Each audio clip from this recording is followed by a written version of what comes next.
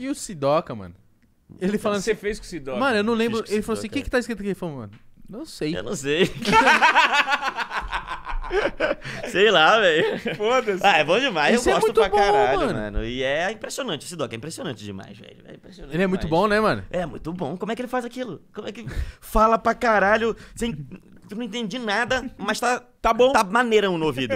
Mas tu não entendeu nada que aconteceu. É Não- tipo nem as palavras, nem a frase, nem. Como é que aquilo ali encaixou na batida, mas tá lindo, mano. Tá foda. É tipo tu, quando tu escutou a música gringa, que tu não sabe porra nenhuma, mas só que ele faz de um Hum. Mas jeito vai a- gringo é, que é, é. português. Que É, você não- é isso mesmo. não é, é a linguagem dele. Eu acho que ele chega no estúdio.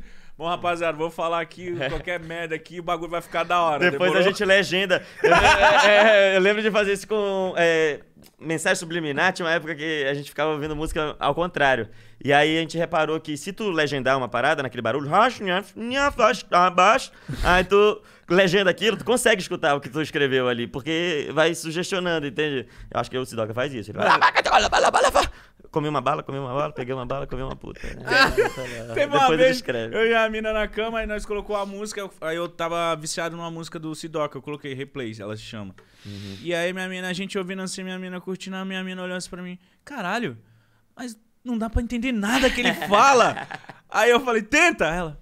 "É, é, é." Ela, mas é bom. Eu falei, é, entendeu? Então. Foda-se, é isso, é isso. O bagulho é da hora, não é precisa parada. entender. É isso. Entender, aí é outro passo. Aí você vai ler a letra, aí você vai gostar até mais. Depois que lê a letra, caralho, show. ele fala alguma coisa? Mas imagina o show, galera. Muito foda. Parece um monte de árabe no show dele.